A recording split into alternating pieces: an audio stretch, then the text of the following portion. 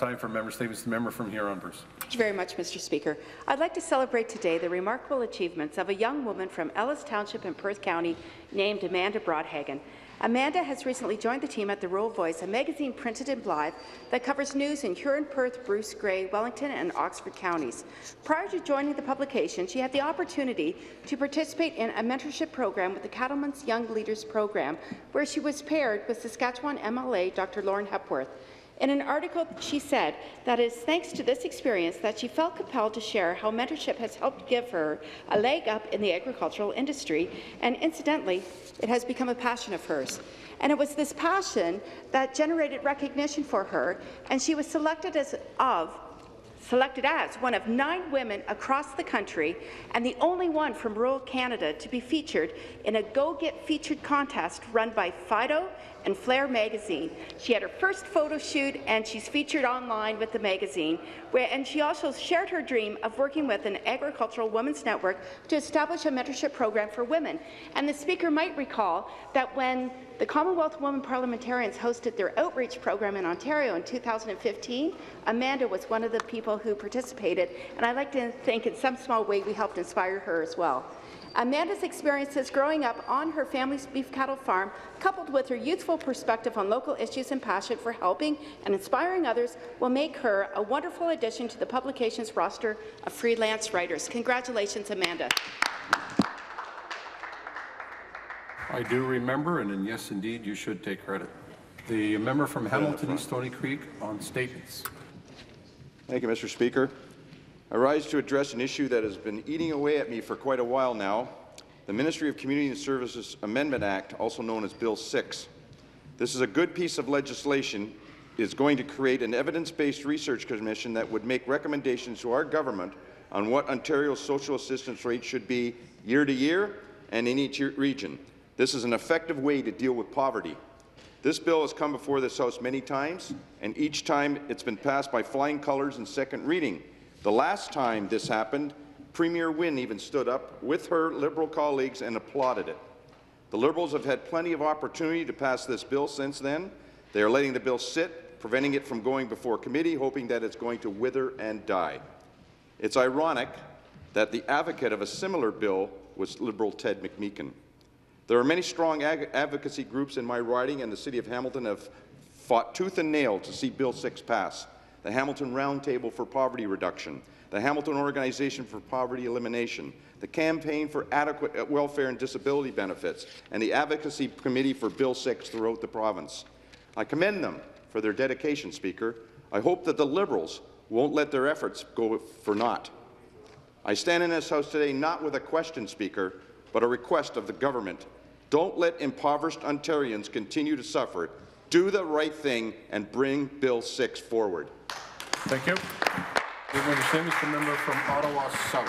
Thank you very much, Mr. Speaker. And I'd, I'd like to say a few words about Agnes Dev uh, Devlin, who passed away in Ottawa last week. And I have to say, I've only known Agnes for about two years. I got to meet her at Alta Vista Manor, where my in-laws live, and I'm there quite frequently visiting. And I got to know her over two years. Uh, and what I found, and what I found actually in the words uh, wonderful words that I found in the Ottawa Citizen this morning are some things about Agnes uh, that I didn't know. That she was a woman of great strength, love and faith, a wonderful mother, not only to her own children, but also to many others. Always ready to expand the family dinner to include someone who might be alone. Agnes lived by the maxim, not all of us can do great things, but we can all do small things with great love. She was always there to answer the call whenever there was a need that she became aware of. Her great love guided her action. She was a tireless worker for the poor, and she did great things. The most enduring was as, founder, as a founding member and volunteer of the Shepherds of Good Hope, where she remained a committed volunteer for 25 years. The Agnes Devlin Volunteer Award, of which she was the first recipient, continues to be awarded by the Shepherds of Good Hope. She was renowned for her ability to turn the food that was available into a great meal. Agnes lived a full life, and uh, I, I, I, will miss her. Whenever I went to visit Alta Vista Manor, I, Alta Vista Manor, I'd say, "Hi, Agnes, how are you doing?" And she said, "Not too bad. How are you, love?" consistently, and um, I'm going to miss that. And, you know, Agnes raised up the people around her with her deep faith, her devotion, her charity. So to Agnes's children and their families, and indeed all those who are grieving the loss, a life filled with kindness, both great and small, is something to celebrate. Thank you very much, Mr. Speaker. Thank you. The member statements, the member from Lambton, Kent, Middlesex. Thank you very much, Mr. Speaker. On Thursday, September 14th, the Strathroy Middlesex Hospital Alliance held its fifth annual Busting Out event, raising funds for new diagnostic equipment in SMHA's breast assessment program. The key to this program is that local women may receive breast cancer diagnosis, treatment, and even reconstruct, e reconstructive surgery at their local hospital. Because of this early assessment program, doctors have been able to detect and diagnose one new unsuspected case of breast cancer per week. SMHA surgeons have committed to seeing new patients within 14 days of diagnosis. Finally, thanks to the efforts of the local community, the breast assessment program has fundraised for all new diagnostic equipment. Over the last four years, more than $116,000 has been raised at Busting Out for breast cancer services in the many communities surrounding Strathroy. Congratulations to all those involved in this worthy local cause and to all who have made generous contributions. Thank you. Thank you. Further members' statements. The member from Toronto, Danforth. Speaker, thank you. I rise to address the impact of regional express rail on my community. A rail line cuts diagonally across my riding, and currently Metrolinx is planning to increase all-day commuter traffic on the line very substantially. Summer of 2016, I canvassed from one end of the line to the other in my riding to let people know what was happening and to hear their concerns. I welcome the investment in transit and the upgrade to electrified trains from diesel, and so do most of my constituents. At the same time, the communities that run alongside the rail are very concerned about the increase in noise and vibration, as well as the potential large-scale loss of trees along the length of the line that provide a visual screen. Trains that now pass people's homes every 15 minutes will be passing their homes every two to three minutes. This will have a substantial impact.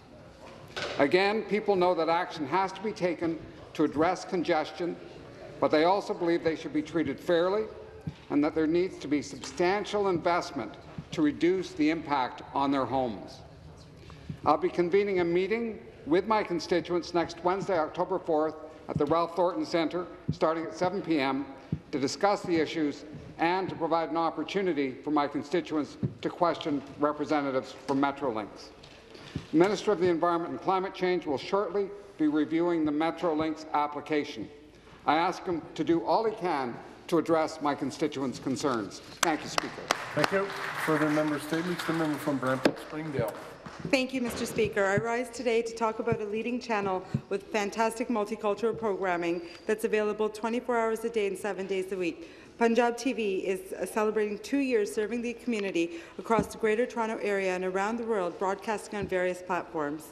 Punjab TV offers the latest news and current affairs programming in, Punjab, uh, in Punjabi from Punjab, India and Canada, with studios in Amritsar, Jalandhar, Moga, and Chandigarh in India and Toronto in Canada. The 24-7 channel is available on iOS, Apple, and Android stores, also on Bell and Rogers.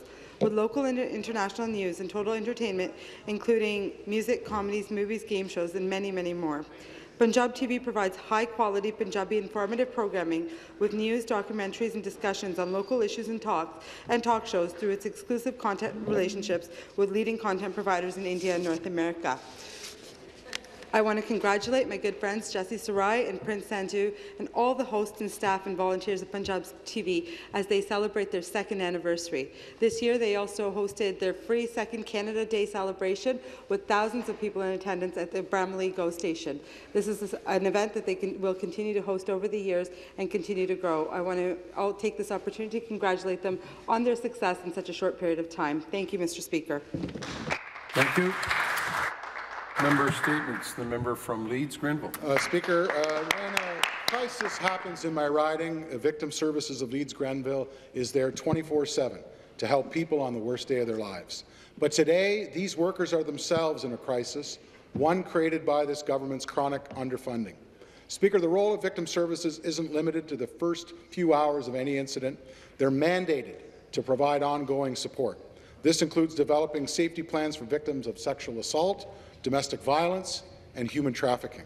Yet base funding from the Attorney General only covers initial contact. And even then, funding is totally inadequate as it's based on 849 new victims. Here's the problem, Speaker. Last year, they had 1,175 new victims. They're on pace this year to be close to 2,000. You can imagine how this affects their staff. The stress of doing the impossible day after day has them overwhelmed, and I fear uh, some may be at the breaking point. The Attorney General knows this because the board wrote the ministry a year ago to warn, and I quote, the impact this situation is having on our staff's mental health and our ability to continue service delivery in a rural environment. Shamefully, it took over eight months to get a response that glossed over the crisis by describing the dramatic increase in cases as good news.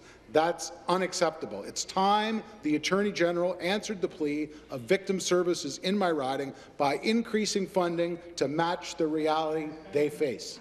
Thank you. Further member statement, the member, member from Trinity Spadina. Uh, thank you, Speaker. Uh, last winter, I had the pleasure to attend a mass dinner at HMCS for York, my riding of Trinity Spadina, where I was invited to their Canadian Leaders at Sea program. I rise today to thank both Lieutenant Commander Craig Robichaud and Vice Admiral Ron Roy, uh, Ron Lloyd, and the Royal Canadian Navy for this rare opportunity to learn more about our naval forces. Canadians Navy has a proud tradition since its founding in 1910. In the Battle of Atlantic, the Navy completed 25,343 crossings, and Canada lost 24 ships and 1,797 sailors, unfortunately. It was these supplies that helped change the outcome of the war. Currently, a new fleet of uh, ships are being built to replace the old frigates. These ships will improve the fleet's ability to perform their duties while economic, uh, promoting economic growth across Canada. Our Navy may not be the biggest in size, but its sailors' professionalism, skill, and passion is second to none in the world. In, Com in Commodore Scarpin's uh, words, I challenge you to find one sailor who doesn't love his or her job. Speaker, I'd like to tell you a brief, uh, brief story while on the tour, I asked a young bomb disposal specialist, why would you choose a such dangerous job? He said, well, sir, I'm good at it, and someone has to do it. I encourage the House to join me in recognizing our sailors' bravery, commitment, and sacrifice in protecting us and what Canada stands for. Thank you, Speaker. Thank you. Further member statements, the member from Bruce Grey Owen Sound. Thank you very much, Mr. Speaker. I rise to say a few words on this most solemn occasion. After 11 successful years as the world's most famous weather prognosticating groundhog, Wiarton Willie passed away in his home in Wiarton on Saturday, September 16th. Sad. Willie was 13, but he lived three times longer than your average groundhog. As a former coordinator of the Groundhog Day Festival, I can attest to the fact that our community has been so fortunate to have Willie, a unique albino prognosticator like no other. So to Pennsylvania's Punxsutawney Phil, Nova Scotia's Shubenacadie Sam, Balzac Billy, the prairie prognosticator, and all the other Willie wannabes, I have to say sorry, but none of you stack up to our Wiarton Willie. Mr. Speaker, this has been a rough couple of months for the South Bruce Peninsula community. Willie's passing comes just one month after the passing of the founder of the Wiarton Willie Festival, the iconic Mac McKenzie, who together with the help of many dedicated volunteers and sponsors made February 2nd a major family festival for the town of Wiarton. Since it started in 1956, the Groundhog Day Festival has been helping fill local hotels, restaurants and shops and help support the economy of our entire region. Thousands of vis visitors have come annually to see if Willie will see a shadow and forecast six more weeks of winter or an early spring. Willie has put Wiarton on the worldwide tourism map. In Willie's honour, the community will be holding a state funeral with speeches in celebration of his life on Saturday, September 30th at 11 a.m.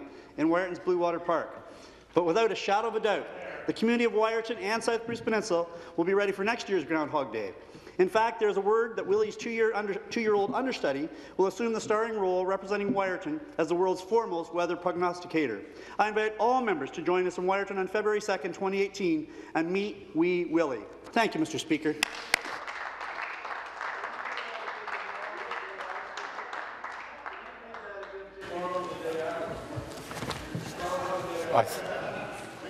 I'm tempted, but I'm not going to say it. I thank all members for their statements.